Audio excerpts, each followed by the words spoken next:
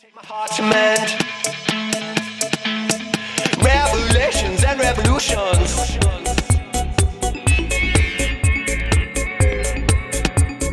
Revolutions.